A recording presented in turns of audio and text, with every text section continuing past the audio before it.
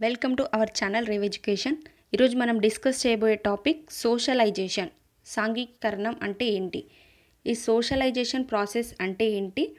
మరియు సోషలైజేషన్ ఎన్ని రకాలుగా జరుగుతుంది?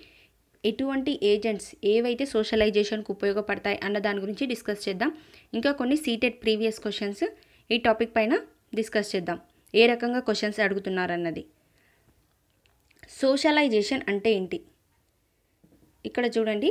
సోషలైజేషన్ అంటే సొసైటీ నుంచి నేర్చుకోవడం అని చెప్పొచ్చు మనం. ఫస్ట్ పుట్టినప్పుడు పిల్లవానికి ఏది కరెక్ట్ ఏది రాంగ్ అనేది తెలియదు తర్వాత ఆ పిల్లవాడు ఒక షేప్ అవ్వడం వాళ్ళ మైండ్ వాళ్ళు ఆలోచించే విధానం కానీ ఈ సొసైటీ ఏ రకంగా ఆలోచిస్తుంది ఎలాంటి పనులు చేస్తే ఈ సొసైటీలో మంచిగా భావిస్తారని వాళ్ళ మైండ్ను ఆ రకంగా మలుచుకోవడాన్ని సోషలైజేషన్ అంటారు. వాళ్ళు ఆ రకంగా షేప్ అవ్వడాన్ని సోషలైజేషన్ అని అనొచ్చు. ఈ సోషలైజేషన్ ప్రాసెస్లో ఒక వ్యక్తి వేరే వేరే కల్చర్స్ నుంచి ఈ సొసైటీ నుంచి ఒక మెంబర్గా ఏ విధంగా ఉంటే సోషలైజేషన్ అనేది సొసైటీలో మంచి వ్యక్తిగా తన రోల్ ఉంటుంది అని ఆలోచించడాన్ని సోషలైజేషన్ అంటారు. ఇంటరాక్షన్స్ వల్ల కానివ్వండి. ఈ సోషలైజేషన్ అనేది లైఫ్ లాంగ్ ప్రాసెస్ అని చెప్పొచ్చు. లైఫ్ లాంగ్ ప్రాసెస్ అంటే మనం గ్రోత్ గురించి అనుకునేటప్పుడు గ్రోత్ లైఫ్ లాంగ్ ప్రాసెస్ అని కాదు అని అనుకున్నాం. ఎందుకంటే గ్రోత్ ఒక స్టేజ్లో ఆగిపోతుంది. డెవలప్ అనే డెవలప్మెంట్ గురించి డిస్కస్ చేసేటప్పుడు ఇది లైఫ్ లాంగ్ ప్రాసెస్ అని అనుకున్నాం. ఎందుకంటే డెవలప్మెంట్ అనేది త్రూ అవుట్ ది లైఫ్ జరుగుతుంది. పుట్టినప్పటి నుంచి ఓమ్ టు టోమ్ అంటాం. Womb to tomb. తల్లి గర్భం నుంచి చనిపోయే వరకు డెవలప్మెంట్ అనేది జరుగుతుంది. కానీ ఈ సోషలైజేషన్ ఎప్పటి నుంచి ఎప్పటి వరకు జరుగుతుందంటే పుట్టిన తర్వాత ఇన్ఫాన్సీ స్టేజ్ నుంచి పుట్టినప్పటి నుంచి లైఫ్ లాంగ్ ప్రాసెస్ అని అనొచ్చు. లైఫ్ లాంగ్ వరకు అంటే చనిపోయే వరకు జరుగుతూనే ఉంటుంది. సొసైటీ నుంచి కొత్త విషయాలు నేర్చుకోవడం కొత్త వ్యక్తులను కలవడం కొత్త వాళ్ళతో ఇంటరాక్షన్ అవ్వడం కొత్త కొత్త నామ్స్ కానీ కొత్త విధానాలు కానీ కొత్త రూల్స్ కానీ తెలుసుకోవడం ఈ రకంగా సోషలైజేషన్ అనేది సమాజం నుంచి నేర్చుకోవడం అనేది వాళ్ళ లైఫ్ లాంగ్ జరుగుతుంది. ఇంకా ఇక్కడ చూడండి ఏజెంట్స్ ఆఫ్ సోషలైజేషన్. సోషలైజేషన్ను ఎటువంటి ఏజెంట్స్ ప్రభావితం చేస్తాయి ఇన్ఫ్లుయెన్స్ చేస్తాయి? అంటే ఫస్ట్ ఫ్యామిలీ. ఫ్యామిలీ అనేది మనం ప్రైమరీ సోషలైజేషన్ ఏజెంట్ అని చెప్పొచ్చు. ఫ్యామిలీ ఫస్ట్ పిల్లవ బయటికి వాళ్ళ తల్లి గర్భం నుంచి బయటకు వచ్చిన వెంటనే ఫస్ట్ చూసేది ఏంటి? ఈ సొసైటీని చూస్తాడా? బయటికి వెళ్ళి స్కూల్కి వెళ్తాడా అంటే లేదు. ఫస్ట్ చూసేది ఫ్యామిలీ. వాళ్ళ ఇంట్లో ఎవరెవరు ఉన్నారు వాళ్ళు ఏ రకంగా నడుచుకుంటున్నారు? ఇవన్నీ చూస్తాడు. కాబట్టి దీని ప్రైమరీ సోషలైజేషన్ ఏజెంట్ అంటాం. వాళ్ళ రిలేషన్షిప్స్ కానీ వాళ్ళ అమ్మను ఏ రకంగా పిలవాలి? వాళ్ళ అత్తయ్యతో ఏ రకంగా ఉండాలి? వాళ్ళ నానమ్మకు ఎలా గౌరవం గౌరవం ఇవ్వాలి? వాళ్ళ తాతయ్యతో ఎలా ఉండాలి? ఈ రకంగా వాళ్ళ ఫ్యామిలీ మెంబర్స్ నుంచి మోరల్ వాల్యూస్ కానీ రూల్స్ కానీ చెప్పులు బయట వదిలి రావాలి ఇంట్లోకి వచ్చేటప్పుడు ఇలాంటి కొన్ని రూల్స్ అనేవి పిల్లలు ఎవరి నుంచి నేర్చుకుంటారు ఫస్ట్ అంటే వాళ్ళ ఫ్యామిలీ నుంచి. నెక్స్ట్ పీర్స్ ఈ ఫ్యామిలీ వల్ల సోషలైజేషన్ జరుగుతుంది. ఇంకా పీర్స్ అంటే వాళ్ళ ఫ్రెండ్స్ వాళ్ళ ఏజ్ ఉన్న వాళ్ళు. వాళ్ళ ఫ్రెండ్స్ నుంచి ఇంటరాక్షన్స్ జరపడం వల్ల వాళ్ళు ఒకరితో ఒకరు మాట్లాడడం వల్ల వాళ్ళ లాంగ్వేజ్ డెవలప్మెంట్ అనేది జరుగుతుంది. ఇంకా వాళ్ళ థాట్స్ కూడా ఒకరొకరు షేర్ చేసుకొని వాళ్ళ డెవలప్మెంట్ వాళ్ళ సోషలైజేషన్ ప్రాసెస్ అనేది జరుగుతుంది. రిలీజియన్ అంటే వాళ్ళ మతం. ఒక్కొక్కరి మతాల్లో ఒక్కొక్క విధానాలు ఉంటాయి. ఎవరి మతంలో వాళ్ళకు తగ్గట్టుగా రూల్స్ ఉంటాయి. వాటిని ఫాలో అవ్వడం ఏ రకంగా ఫెస్టివల్స్ కానీ వాళ్ళు పాటించే రూల్స్ కానీ ఇవన్నీ ఫా పాటించడం. దీన్ని కూడా సోషలైజేషన్ అంటాం. ఒకవేళ ఒక పిల్లవాడు బాగా చదివేవాడు కానీ వాళ్ళ ఇంట్లో ఏం జరుగుతుంది వాళ్ళ సొసైటీలో ఏం జరుగుతుందని తెలియకపోతే ఆ పిల్లవాడిని యొక్క సోషలైజేషన్ జరగలేదు అని అంటాం. కాబట్టి సోషలైజేషన్ అనేది వెరీ ఇంపార్టెంట్. ఇంకా గవర్నమెంట్ నుంచి సోషలైజేషన్ ఏ విధంగా జరుగుతుంది?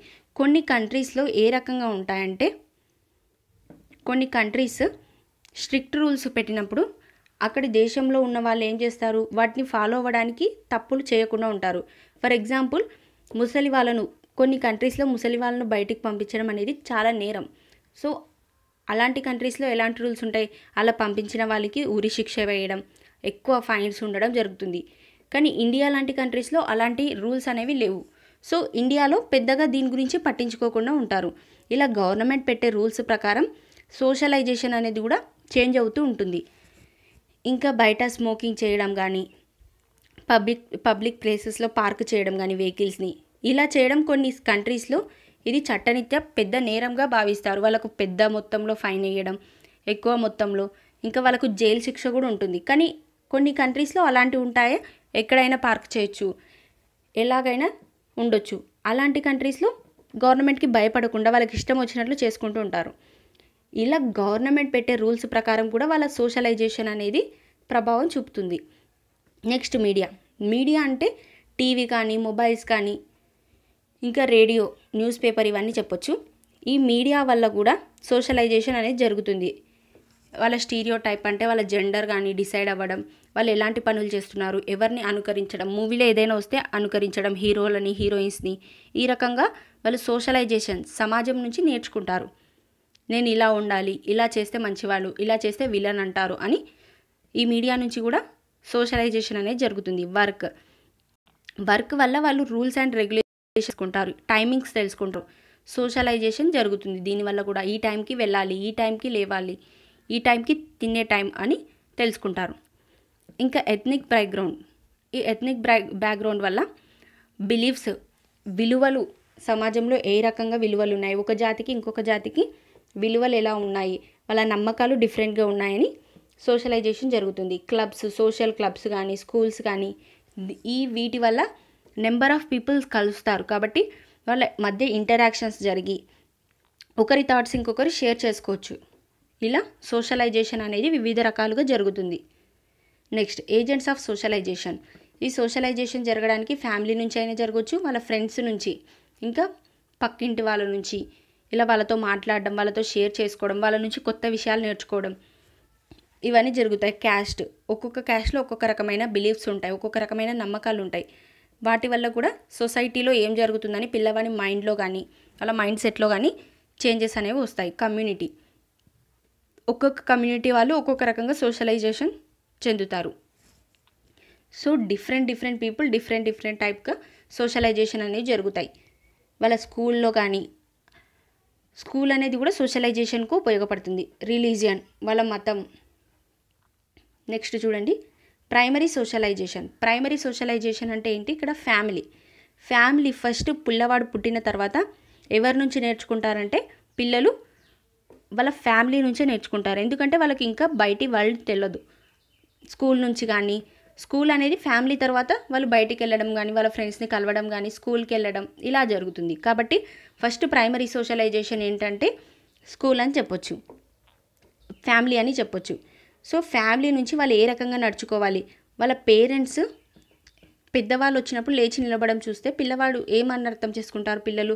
నేను కూడా పెద్దవాళ్ళ ముందు లేచి నిలబడాలి వాళ్ళకు రెస్పెక్ట్ ఇవ్వాలని అర్థం చేసుకొని వాళ్ళు కూడా నెక్స్ట్ టైం అలాంటి పనులు చేస్తారు. సో ఎవరు ఫస్ట్ ఎవరి వల్ల వాళ్ళ మైండ్ సెట్ అనేది డిసైడ్ అవుతుందంటే వాళ్ళ పేరెంట్స్ వల్ల మరియు వాళ్ళ ఫ్యామిలీ వల్ల. ఇలా పిల్లల్లో ఫస్ట్ సోషలైజేషన్ సొసైటీ నుంచి నేర్చుకోవడం అనేది ఎవరి నుంచి జరుగుతుంది? వాళ్ళ ఫ్యామిలీ వల్ల జరుగుతుంది. ఇంకా బయట చెప్పులు వదిలి రావడం టెంపుల్కి వెళ్ళే ముందు టెంపుల్ ముందు బయటనే చెప్పులు వదలడం. ఇవన్నీ ఎవరిని చూసి నేర్చుకుంటారు? పిల్లవానికి ఫస్ట్ తెలుస్తుందా? ఇంట్లోకి చెప్పులు వేసుకురావాలి వేసుకురావద్దని అంటే తెలీదు. టెంపుల్కి లోపలికి వేసుకువెళ్ళాలి లేదు అని తెలుస్తుందా అంటే తెలీదు. సో ఎక్కడైతే మంచి ప్లేసెస్ ఉన్నాయో అక్కడకు నీట్గా వెళ్ళాలి. ఏదైనా ఫంక్షన్ జరిగినప్పుడు ఇలా రెడీ అవ్వాలని పిల్లలకు తెలుస్తుందా అంటే తెలీదు. వాళ్ళు ఎవరిని చూసి డిసైడ్ అవుతారంటే వాళ్ళ పేరెంట్స్ బిహేవియర్ను వాళ్ళు ఇలా రెడీ అవుతున్నారు. సో నేను కూడా ఎక్కడికైనా వెళ్ళేటప్పుడు ఇలా ఉండాలి అని పిల్లలు వాళ్ళ పేరెంట్స్ని చూసి నేర్చుకోవడం. వాళ్ళు ఒకవేళ అబద్ధాలు చెప్పకుండా మంచిగా ఉన్నట్లయితే పిల్లలు కూడా అలాగే ఉండడానికి ట్రై చేస్తారు. సో వాళ్ళ ఇంట్లో వాళ్ళ బిహేవియర్ అనేది పిల్లలపైన ఎక్కువ ప్రభావం చూపుతుంది. వాళ్ళు ఎప్పుడు గొడవ పడుతూ ఉంటే ఇంట్లో పిల్లల మైండ్ సెట్ కూడా డిస్టర్బ్ అయ్యి వాళ్ళు కూడా ఈ గొడవ పడడం వల్ల వాళ్ళ మైండ్ సెట్ కూడా డిస్టర్బ్ అవుతుంది. వాళ్ళ డెవలప్మెంట్ సరిగ్గా జరగకుండా సోషలైజేషన్ ప్రాసెస్ కూడా సరిగ్గా జరగకుండా ఉంటుంది. నెక్స్ట్ సెకండరీ సోషలైజేషన్ ఫ్యామిలీ కాకుండా మిగిలినవన్నీ సెకండరీ సోషలైజేషన్ ఏజెంట్స్ అని చెప్పొచ్చు. ఈ సెకండరీ సోషలైజేషన్ ఏజెంట్స్ అంటే పీర్ గ్రూప్ చెప్పొచ్చు వాళ్ళ ఫ్రెండ్స్ కానీ. ఇంకా మీడియా సొసైటీ స్కూల్స్ వాళ్ళ ఫ్రెండ్స్ ఎవరెవరిని కలుస్తున్నారు వాళ్ళు బయట. ఇంకా మీడియా మీడియా అంటే internet radio television magazine newspaper వీటన్నిటి నుంచి కూడా కొత్త విషయాలు నేర్చుకోవడం ఏది కరెక్ట్ ఏది రాంగ్ అన్న విషయం పిల్లలు మైండ్ సెట్లో ఫిక్స్ అవుతారు. సో ఈ రకంగా సొసైటీ నుంచి నేర్చుకోవడం జరుగుతుంది. ఇంకా వాళ్ళ ఫ్రెండ్స్తో డిస్కషన్స్ చేయడం వల్ల. కొత్త విషయాలు తెలుసుకోవడం వల్ల వివిధ కల్చర్స్ ఉన్న పిల్లలు పక్కన కూర్చోవడం వల్ల ఒకరి కల్చర్ అనేది ఇంకొకరికి తెలుస్తుంది. మీ ఇంట్లో ఏం చేశారు? మీ ఇంట్లో ఎలాంటి రూల్స్ ఉన్నాయి? అని పిల్లలు మాట్లాడుతూ వాళ్ళ ఇంట్లో ఏ రకంగా ఉన్నారు? ఒక్కొక్కరి విధానం ఒక్కొక్క రకంగా ఉంటుంది. కాబట్టి ఈరోజు ఏం ఫుడ్ తిన్నావు? ఇలా పిల్లలు మాట్లాడుకోవడం వల్ల వాళ్ళ కల్చర్ అనేది ఒకరి నుంచి ఒకరికి తెలుస్తుంది. ఇలా వాళ్ళ సోషలైజేషన్ అనేది ఇంప్రూవ్ అవుతుంది. కాబట్టి ఈ స్కూల్ కూడా స్కూల్లో వల్ల స్కూల్ వల్ల వాళ్ళ ఫ్రెండ్స్తో ఇంటరాక్షన్స్ వల్ల యాక్టివిటీస్ జరపడం వల్ల వాళ్ళ సోషలైజేషన్ అనేది మెరుగుపడుతుంది. ఇప్పటి వరకు థియరీ చూసాం కదా ఇప్పుడు సీటెడ్ ప్రీవియస్ క్వశ్చన్స్ ఈ టాపిక్ పైన ఎలా అడుగుతున్నారన్నది చూడండి. Which of the following is the primary socializing agency మనం ప్రైమరీ సోషలైజింగ్ ఏజెన్సీ అంటే ఏమని తెలుసుకున్నాం? ఫ్యామిలీయా స్కూల్ గవర్నమెంట్ మీడియా. ఏమవుతుందన్నాం?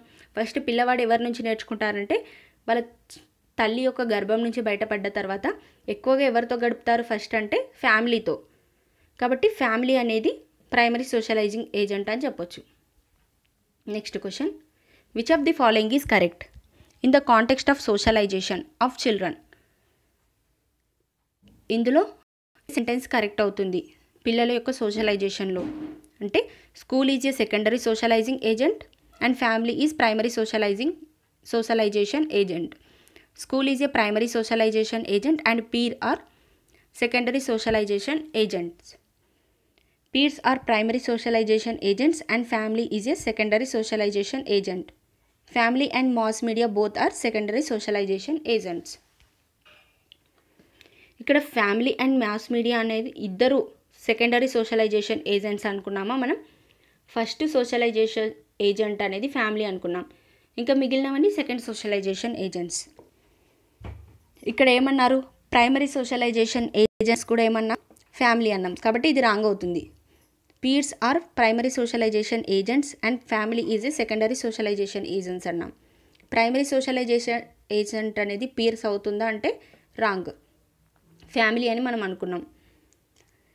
ఇక్కడ స్కూల్ అన్నారు ప్రైమరీ సోషలైజేషన్ ఏజెంట్. సో ఇది కూడా రాంగ్ అవుతుంది. ఇక్కడ చూడండి స్కూల్ అనేది సెకండరీ సోషలైజేషన్ ఏజెంట్ ఫ్యామిలీ అనేది ప్రైమరీ సోషలైజేషన్ ఏజెంట్. కాబట్టి first option is correct next question which of the following is true of socialization ఇందులో కరెక్ట్ స్టేట్మెంట్ ఏంటి సోషలైజేషన్కి సంబంధించి అని అన్నారు. Early childhood is the period of most intense and most crucial socialization early childhood అనేది important stage for socialization అని అన్నారు. Socialization continues until we are adults and then usually stops because we have learned and our culture by that time socialization వాళ్ళు పెద్ద అయ్యే వరకు మాత్రమే జరుగుతుంది ఆ తర్వాత స్టాప్ అయిపోతుందని ఇక్కడ అన్నారు. All culture use the same technique to socialize their children అన్ని కల్చర్స్లో ఒకే రకమైన టెక్నిక్ ఉంటుంది సోషలైజేషన్ ప్రాసెస్లో అని అన్నారు. Next all of the above. మీరు ఇందులో ఏది కరెక్ట్ చెప్పండి. ఎన్ని క్వశ్చన్స్కి కరెక్ట్ ఆన్సర్ ఇవ్వగలిగారో అన్నది కూడా కామెంట్లో కామెంట్ సెషన్లో కామెంట్ చేయండి. ఇక్కడ చూడండి third option all cultures use the same technique to socialize their children. అన్ని దగ్గర ఒకే రకమైన టెక్నిక్ యూస్ చేస్తారా సోషలైజేషన్ జరగడానికి అంటే కాదు. వివిధ కల్చర్స్ డిఫరెంట్ కల్చర్స్లో డిఫరెంట్ టైప్స్ సోషలైజేషన్స్ అనేవి జరుగుతాయి. కొన్ని కల్చర్స్లో ఒక రకంగా జరిగితే ఇంకొక కొన్ని కల్చర్స్లో ఇంకొక రకంగా జరగవచ్చు ఈ రకంగా ఏ కల్చర్లో ఒకే రకమైన రూల్స్ ఉండవు. ఒక్కొక్క విధానం ఒక్కొక్క సంస్కృతి సంప్రదాయాలు అనేవి డిఫరెంట్గా ఉంటాయి. కాబట్టి థర్డ్ ఆప్షన్ రాంగ్ అవుతుంది. Next fourth option all of above అన్నారు. థర్డ్ ఆప్షన్ రాంగ్ అయినప్పుడు ఆల్ ఆఫ్ అబో అన్నది కూడా రాంగ్ అయిపోతుంది. Second option socialization continues until we are adults and then stops అంటే ఇక్కడ పెద్దవాళ్ళు అయ్యే వరకు సోషలైజేషన్ జరుగుతుంది. ఆ తర్వాత స్టాప్ అయిపోతుంది అన్నారు. అలా జరుగుతుందా అంటే కాదు. ఇది లైఫ్ లాంగ్ ప్రాసెస్ అని మనం ముందే డిస్కస్ చేసాం కాబట్టి ఇది కూడా రాంగ్ అవుతుంది. Early childhood is the period of the most intense and most crucial socialization ఈ ఎర్లీ చైల్డ్హుడ్ అంటే టూ టు సిక్స్ ఇయర్స్ అని చెప్తాం. ఎర్లీ చైల్డ్హుడ్ అనేది లాంగ్వేజ్ డెవలప్మెంట్కి వెరీ ఇంపార్టెంట్ పీరియడ్ అని మనం తెలుసుకున్నాం. సెన్సిటివ్ పీరియడ్ అంటాం దీన్ని లాంగ్వేజ్ డెవలప్మెంట్ కోసం. ఈ స్టేజ్లో పిల్లలు ఫస్ట్ స్టార్టింగ్లో వాళ్ళు ఒంటరిగా ఆడుకోవడానికి ట్రై చేస్తారు. ఎప్పుడైతే four five six years five six years వచ్చేటప్పటికి పిల్లలు వాళ్ళ ఫ్రెండ్స్తో ఆడుకోవడం ఇంటరాక్షన్స్ జరపడం కోఆపరేటివ్ ప్లే అనేది స్టార్ట్ అవుతుంది. ఇలా ఆడుకోవడం వల్ల వాళ్ళలో ఎక్కువగా సోషలైజేషన్ ప్రాసెస్ అనేది ఈ స్టేజ్లో స్టార్ట్ అవుతుంది. కాబట్టి first option is correct. Next question. Socialization includes cultural transmission and ఈ సోషలైజేషన్ వల్ల కల్చరల్ ట్రాన్స్మిషన్ కల్చర్స్ అనేవి ఒకరి నుంచి ఒకరు నేర్చుకుంటారు అని అన్నారు. ఇంకా మరియు ఏం జరుగుతుంది అంటే డిస్కరేజెస్ రిబెలియన్. ఈ సోషలైజేషన్ సాంఘికరణం అనేది డిస్కరేజెస్ రెబిలియన్ అంటే వాళ్ళు ప్రశ్నించే తత్వాన్ని తగ్గించేస్తుంది డిస్కరేజ్ చేస్తుంది. అవతలి వాళ్ళు ఏం చెప్పినా అది వినేటట్టు ఉంటుంది. అవతల వాళ్ళను ఆపోజ్ చేయరు ఈ సోషలైజేషన్ వల్ల అన్నారు. ఇంకా దీనివల్ల ఇండివిజువల్ పర్సనాలిటీ అనేది డెవలప్మెంట్ అవుతుంది. ఫిట్స్ చిల్డ్రన్ ఇంటూ లేబుల్స్ వాళ్ళకు ఒక లేబుల్ ఇచ్చేస్తారు. ఎలా అంటే ఒక పిల్లవాడిని నువ్వు మంచి నువ్వు చెడు అన్నట్లు వాళ్ళకు లేబుల్స్ లేబుల్స్ అంటే ఏంటి? వాళ్ళకు ఒక నేమ్ ఇచ్చేయడం. నువ్వు బ్యాడ్ నువ్వు గడ్ గుడ్ అన్నట్టు. ఒక పిల్లవాడిని బ్యాడ్ గుడ్ లేకపోతే ఇంటెలిజెంట్. ఈ రకంగా డల్ స్టూడెంట్. ఇలా వాళ్ళకు లేబుల్స్ ఇవ్వడానికి సోషలైజేషన్ అని అంటాం. ఈ సోషలైజేషన్ ప్రాసెస్లో ఇలా లేబుల్స్ ఇవ్వడం అనేది కూడా ఇంక్లూడ్ అయి ఉంటుంది. Provide emotional support. Emotional support ఇవ్వడం అనేది ఇందులో ఇంక్లూడ్ అయి ఉంటుంది సోషలైజేషన్ ప్రాసెస్లో. ఏం కరెక్ట్ అవుతుంది ఇక్కడ? Fits children into labels. పిల్లలకు లేబుల్స్ ఇవ్వడం అంటే నువ్వు మంచి చెడు అని వాళ్ళ మెంటాలిటీని డిసైడ్ చేయడం సోషలైజేషన్ అనేది కాదు. Discourages rebellion. ఆ పిల్లల్లో ప్రశ్నించే తత్వం తగ్గిపోతుందా? సోషలైజేషన్ ప్రాసెస్ వల్ల అంటే కాదు. Provides emotional support. Emotional support మరియు ఇక్కడ ఇండివిజువల్ పర్సనాలిటీ డెవలప్మెంట్ అవుతుంది అని అన్నారు సోషలైజేషన్ వల్ల. సోషలైజేషన్ వల్ల ఎమోషనల్ సపోర్ట్ కూడా పెరుగుతుంది. కానీ దానికంటే ఎక్కువ ఇంపార్టెంట్ ఏంటి ఇక్కడ? వాళ్ళ పర్సనాలిటీ డెవలప్మెంట్ అనేది జరుగుతుంది. ఇండివిజువల్ పర్సనాలిటీ వాళ్ళ వ్యక్తిగతంగా ఒకరి నుంచి ఒకరికి డిఫరెంట్గా పర్సనాలిటీ అనేది వాళ్ళ పర్సనాలిటీ షేప్ అవుతుంది. So second option B is correct అవుతుంది. ఎమోషనల్ సపోర్ట్ అనేది డెవలప్మెంట్లో ఒక భాగం మాత్రమే కానీ సోషలైజేషన్ వల్ల డెవలప్మెంట్ ఆఫ్ ఎమోషనల్ సపోర్ట్ కంటే ఇండివిజువల్ పర్సనాలిటీ డెవలప్మెంట్లో సోషలైజేషన్ ప్రాసెస్ అనేది ఎక్కువగా ఉంటుంది. ఇంపాక్ట్ చూపిస్తుంది. Next question what nature of classroom should we have to increase the process of socialization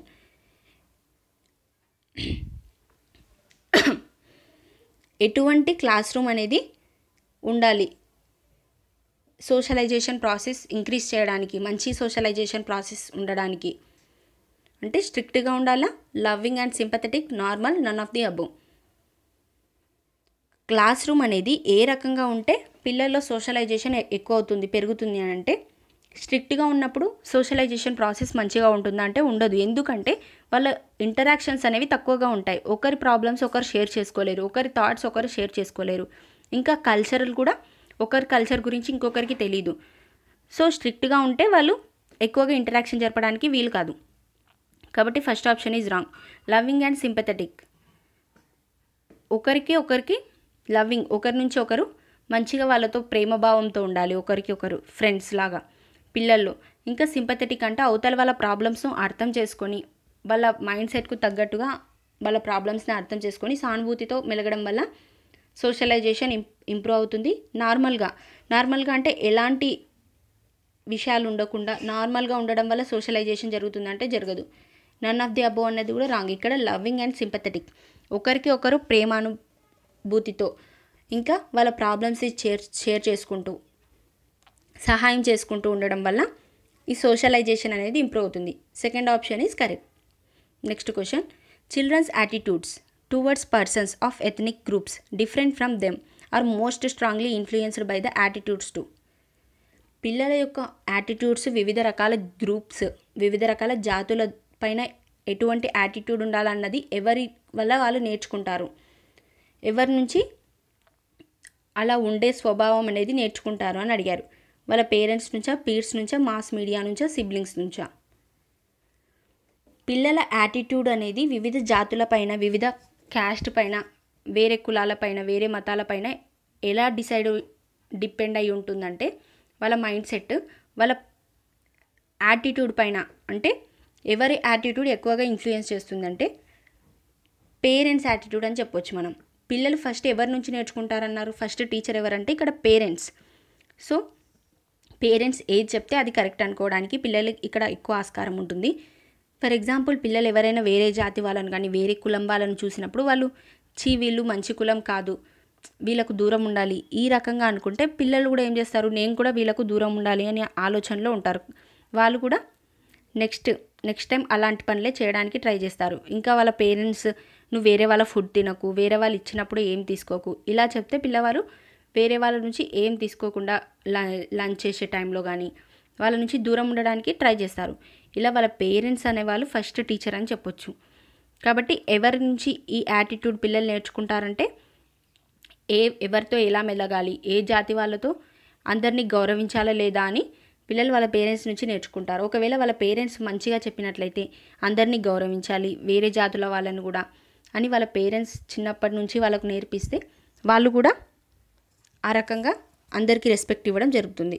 ఇంకా వాళ్ళ పీర్స్ అంటే వాళ్ళ ఫ్రెండ్స్ వాళ్ళ ఫ్రెండ్స్కి కూడా అంత మెచ్యూర్ మైండ్ అనేది ఉండదు. వివిధ రకాల జాతులు వేరే వాళ్ళను ఇలా చూడాలని ఇంకా వాళ్ళకు అలా అంత వేరే వాళ్ళను భేదభావంతో చూడడం ఈ స్టేజ్లో ఉండదు వాళ్ళ ఫ్రెండ్స్కి. మాస్ మీడియా మీడియా కన్నా ఎక్కువ ఇన్ఫ్లుయెన్స్ ఎవరిది ఉంటుంది? స్టార్టింగ్ స్టేజ్లో పేరెంట్స్. పేరెంట్స్ ఏం చెప్తే అది కరెక్ట్ అని వినడానికి చిన్న పిల్లల్లో ఎక్కువ ఛాన్సెస్ ఉంటాయి. అంటే వాళ్ళ మైండ్ ఎవరు డిసైడ్ చేయొచ్చు పేరెంట్స్ డిసైడ్ చేయొచ్చు వాళ్ళ యాటిట్యూడ్.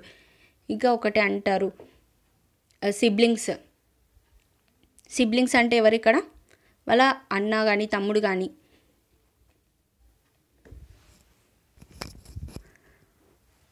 వాళ్ళ సిబ్లింగ్స్ కూడా ఎక్కువగా ఇంపాక్ట్ చూపించారు ఎందుకంటే వాళ్ళకు కూడా పెద్దగా వీటి గురించి అంత అవగాహన ఉండదు. ఈ ఎథనిక్ గ్రూప్స్ జాతుల గురించి వివిధ రకాల మతాల గురించి వాళ్ళు ఎక్కువగా పేరెంట్స్ పైన పేరెంట్స్ ఏం చేస్తే అది చేస్తారు అనుకుంటారు. ఒక నానుడి ఉంది ముక్కయి వంగనిది మానయ్య వంగుతుందా అని. అంటే చిన్నగా ఉన్నప్పుడు వాళ్ళు ఏ రకంగా మనం డిసైడ్ చేస్తే ఆ పిల్లలను ఎలా డిజైన్ చేస్తే వాళ్ళ మైండ్ను ఆ రకంగా ఉంటారు.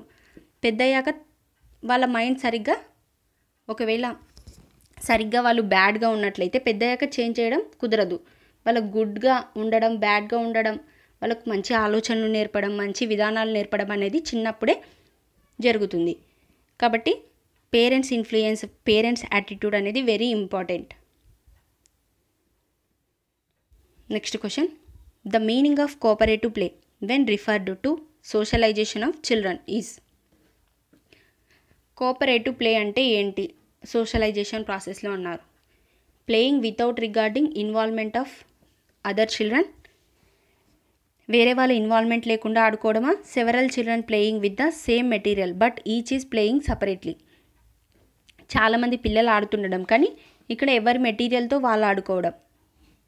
Playing loosely organized games loosely organized games అనేవి కోఆపరేటివ్ ప్లే అవుతుందా? Assuming assigned roles and depending on others for achieving the goals of play ఒకరితో ఒకరు ఇంటరాక్షన్ జరపడం వల్ల లాస్ట్ గోల్ రీచ్ అవ్వడం కోఆపరేటివ్ ప్లే అవుతుందా? చూడండి ప్లే ఈ ఆడుకోవడం అనేది పిల్లల్లో ఏ రకంగా జరుగుతుందంటే పిల్లల్లో ఫస్ట్ సోలిటరీ ప్లే అంటే వాళ్ళు ఒంటరిగా ఆడుకోవడానికి ఇష్టపడతారు. ఆ తర్వాత ప్యారలల్ ప్లే స్టార్ట్ అవుతుంది. నెక్స్ట్ కోఆపరేటివ్ ప్లే ఈ సోలిటరీ ప్లే అంటే వితౌట్ రిగార్డింగ్ ఇన్వ ఇన్వాల్వ్మెంట్ ఆఫ్ అదర్ చిల్డ్రన్ వేరే వాళ్ళ ఇన్ ఇన్వాల్వ్మెంట్ లేకుండా పిల్లలు ఒంటరిగా ఆడుకుంటారు. దీన్ని సొలిటరీ ప్లే అంటారు. ఈ ప్యారలల్ ప్లే అంటే వేరే వాళ్ళను పక్క పిల్లలను చూసి ఆడుకుంటారు. కానీ వాళ్ళ టాయ్స్ కానీ వాళ్ళ మెటీరియల్ కానీ ఒకరికి ఒకరు ఇచ్చుకోవడం పుచ్చుకోవడం అనేది జరగదు. ఎవరంతకు వాళ్ళే సపరేట్గా ఆడుకుంటారు. కానీ వేరే పిల్లలు ఎలా ఆడుతున్నారో చూసి ఆడడం పిల్లలతో కలిసి ఆడడం వాళ్ళు ఆడుతున్నప్పుడు అలా చేస్తారు. కానీ ఇక్కడ వాళ్ళ మెటీరియల్ కానీ ఏం వాళ్ళు ఎక్స్చేంజ్ చేసుకోరు. నెక్స్ట్ ప్లేయింగ్ లూజ్లీ ఇది కాదు. Assuming assigned roles and depending on others for achieving goals. ఒక గోల్ని రీచ్ అవ్వడానికి ఇక్కడ ఒకరిపైన ఒకరు డిపెండ్ అవుతారు. ఒకరి నుంచి ఒకరు నేర్చుకుంటారు. ఇంటరాక్షన్స్ జరుపుతారు. సో దీన్ని కోఆపరేటివ్ ప్లే అంటారు. ఒకరికి ఒకరు కోఆపరేట్ చేసుకుంటూ సహాయం చేసుకుంటూ ఈ ఆట ఆడతారు. ఎగ్జాంపుల్ ఎలా అంటే ఒక ఇల్లు కట్టడం ఆడుతున్నారు అనుకుంటే పిల్లలు అందులో వాళ్ళు ఎలా డివైడ్ చేసుకుంటారు వర్క్ని? ఒకరు ఇటుక తేవడం లేకపోతే ఇసుక తేవడం ఒకరు పుల్లలు తీసుకురావడం ఇంకొకరు ఆకులు తేవడం. ఇలా నేను ఈ పని చేస్తాను నువ్వు ఈ పని చేయని వాళ్ళు దాన్ని షే షేర్ చేసుకుంటారు. ఒక్కొక్కరు ఒక్కొక్క పని చేస్తారు. చేసి లాస్ట్కి ఏం చేస్తారు? వాళ్ళ గోల్ రీచ్ అవుతారు. అంటే ఇల్లు కట్టడం అనేది జరుగుతుంది. దీనివల్ల వాళ్ళలో ఇంటరాక్షన్స్ జరగడం వల్ల ఒకరికొకరు హెల్ప్ చేసుకుంటూ ఈ వర్క్ అనేది కంప్లీట్ చేస్తారు. దీన్ని కోఆపరేటివ్ ప్లే అంటారు. ఇక్కడ ఈ ప్యారలల్ ప్లేకి ఎగ్జాంపుల్ ఏంటంటే వీడియో గేమ్స్ అంటే వీడియో గేమ్స్లో ఒకరి మొబైల్స్ ఒకరు వాడుకోవడం ఇంకొకరి టాయ్స్ ఒకరు వాడుకోవడం జరుగుతుంది. అంటే లేదు ఎవరి గేమ్ వాళ్ళే ఆడుకుంటారు కానీ అందరూ ఆడుకోవడానికి ఛాన్స్ ఉంటుంది ఇక్కడ. వాళ్ళ మెటీరియల్స్ అనేవి ఒకరి నుంచి ఒకరు ఎక్స్చేంజ్ అనేది జరగదు. Next question in the context of socialization schools often have a hidden curriculum which consist of hidden curriculum అంటే ఏంటి ఇక్కడ? చూడండి. సోషలైజేషన్ ప్రకారం స్కూల్స్లో హిడెన్ కరికులం ఉంటుంది. అందులో ఏముంటుంది? ఇట్ కన్సిస్ట్ ఆఫ్ అంటే negotiating and resisting socialization of students through their families వాళ్ళ ఫ్యామిలీస్ ద్వారా చర్చలు జరపడం వల్ల. ఇంకా సోషలైజేషన్ను స్టాప్ చేయడం అనేది ఈ హిడెన్ కరికులం అవుతుందా? Teaching and assessment of values and attitudes teach చేయడం అసెస్మెంట్ చేయడం. ఈ వాల్యూస్ని యాటిట్యూడ్స్ అనేది వాళ్ళకున్న విలువలను వాళ్ళ యాటిట్యూడ్ని అసెస్మెంట్ చేయడం. దాన్ని ఎస్టిమేట్ చేయడం అనేది హిడెన్ కరికులం అవుతుందా? ఫోర్సబుల్ లెర్నింగ్ వాళ్ళకు ఫోర్స్తో నేర్పించడం. Thinking and behaving in particular ways by imitating peers and teachers వాళ్ళ బిహేవింగ్ను ఇమిటేట్ చేయడం అనేది ఈ సోషలైజేషన్లో హిడెన్ కరికులం అవుతుందా the informal cues about social rules presenting in సోష్ in school through interaction and matter అనేది సోషలైజేషన్ అవుతుందా? ఏది కరెక్ట్ ఆప్షన్?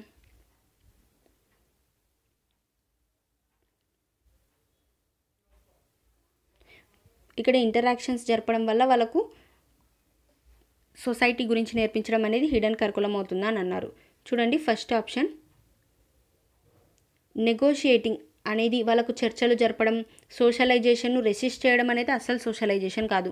సోషలైజేషన్ను ఆపోజ్ చేయడం సోషలైజేషన్ ఎలా అవుతుంది? సో ఇది రాంగ్ వాళ్ళ యాటిట్యూడ్స్ని వాల్యూస్ని అసెస్మెంట్ చేయడం అనేది కూడా సోషలైజేషన్లో హిడెన్ కరికులం కాదు. ఫోర్సబుల్ లెర్నింగ్ ఫోర్స్తో నేర్పించడం అనేది సోషలైజేషన్లో హిడెన్ కరికులం కాదు. ఇక్కడ ఫోర్త్ ఆప్షన్ చూడండి. ఫార్మల్ ఎడ్యుకేషన్ ఇన్ఫార్మల్ ఎడ్యుకేషన్ అని మనం చెప్పినట్లయితే ఫార్మల్ ఎడ్యుకేషన్ అంటే ఏంటి? ఇప్పుడు మన ఎడ్యుకేషన్ సిస్టమ్ ఏదైతే మనం చదువుతున్నామో దాన్ని ఫార్మల్ ఎడ్యుకేషన్ అంటాం. ఎలా అంటే దీనికి ఒక కరికులం ఉంటుంది. ఒక పాఠ్య ప్రణాళిక అనేది ఉంటుంది. ఈ లెసన్ నేర్పించాలి ఈ- ఈ విలువలు పిల్లల్లో పెంపొందించాలి ఈ రకంగా టీచింగ్ చేయాలని ఒక రకమైన విలువలు వాళ్ళ కరికులం ఈ రకంగా చేయాలి అని యూనిట్ ప్లాన్ ఇయర్ ప్లాన్ ఒక ప్రణాళికతో ఉండేదాన్ని ఫార్మల్ ఎడ్యుకేషన్ అంటారు.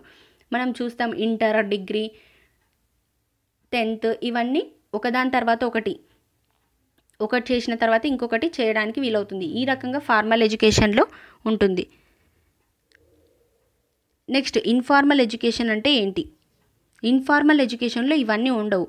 ఎలా ఉంటాయంటే ఓన్లీ విలువలు పెంపొందించడం మాత్రమే ఉంటాయి. ఇక్కడ ఒకదాని తర్వాత ఒకటి అన్నది ఉండదు. ఎలా అంటే కొన్ని మత ప్రచారాలు జరుగుతుంటాయి. మత కానీ ముస్లిం కానీ ఇప్పుడు వాటిలో ఒకదాని తర్వాత ఒకటి అని ఉంటుందా అంటే లేదు. వాళ్ళలో ఏ రకంగానైనా విలువలు పెంపొందిస్తారు. కానీ వాళ్ళ కరికులం అనేది ఒక పాఠ్య ప్రణాళిక అనేది సపరేట్గా ఉండదు. దీన్ని ఇన్ఫార్మల్ ఎడ్యుకేషన్ అంటారు. ఇక్కడ హిడెన్ కరికులం అంటే కరికులం లేదు. వాళ్ళకు ఒక పాఠ్య ప్రణాళిక లేకుండా మనం సో స్కూల్స్లో వాళ్ళ ఇంటరాక్షన్స్ జరపడం వల్ల వాళ్ళలో ఇల్- విలువలు అనేవి పెంపొందిస్తాం. సో ఈ రకంగా విలువలు పెంపొందించడం అనేది దానికి సపరేట్ కరికులం లేకుండా పిల్లల్లో ప్రేయర్ చెప్పేటప్పుడు కానీ వాళ్ళకు నైతిక విలువలు చెప్పడం వీటన్నిటికీ కరికులం ఉండదు. దీన్ని హిడెన్ కరికులం సోషలైజేషన్ ప్రాసెస్కు అవన్నీ ఉపయోగపడతాయి. ఇంకా యాక్టివిటీస్ చేయించడం క్లబ్స్ కానీ కల్చరల్ క్లబ్స్ కానీ ఇవన్నీ కరికులంలో ఇంక్లూడ్ చెయ్యరు. వాళ్ళకు యాక్టివిటీస్ ఇవ్వడం వాళ్ళతో గ్రూప్ యాక్టివిటీ కానీ ఇవన్నీ ఈ హిడెన్ కరికులంలో భాగంగా చెప్పొచ్చు. ఇంటరాక్షన్స్ మ్యాటర్స్ అనేవి. థ్యాంక్స్ ఫర్ వాచింగ్ మీరు ఇప్పటివరకు ఎన్ని క్వశ్చన్స్కి కరెక్ట్గా ఆన్సర్ చేయగలిగారు అన్నది కామెంట్ చేయండి. మీరు ఈ పీడిఎఫ్ కావాలనుకుంటే మన టెలిగ్రామ్ గ్రూప్లో యాడ్ అవ్వండి. ఇంకా దీనికి సంబంధించి ప్రీవియస్ వీడియోస్ మనం ఎన్విరాన్మెంట్ హెరిడిటీ గురించి డిస్కస్ చేశాం కదా అవి కూడా కావాలనుకుంటే డిస్క్రిప్షన్లో చూడండి లింక్ అవైలబుల్గా ఉంటుంది. Thanks for watching. మన ఛానల్ని సబ్స్క్రైబ్ చేసుకోండి అండ్ మీ ఫ్రెండ్స్కి కూడా షేర్ చేయండి.